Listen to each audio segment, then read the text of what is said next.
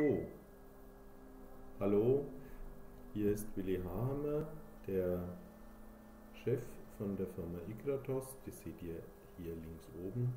Wir haben für euch einen Solarmodulplaner konstruiert, der wirklich einfach ist.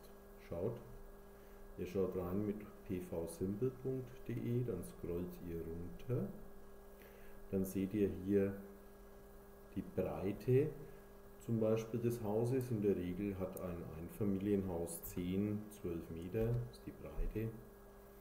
Die Höhe ist in der Regel 5, 6 Meter, 7 Meter, das ist die Diagonale. Und dann geht es eigentlich auch schon los, 7 Meter.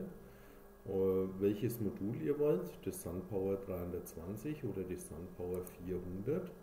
Lassen wir mal das SunPower 400 und dann berechnen wir das Ganze. Okay, jetzt habt ihr da vielleicht ein Fenster drin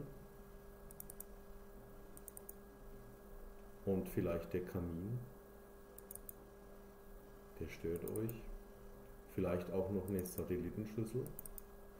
Und wenn ihr das alles geklickt habt, dann seht ihr hier, ich bekomme 30 Module drauf und erzeuge rund 12.000 Kilowattstunden Strom pro Jahr.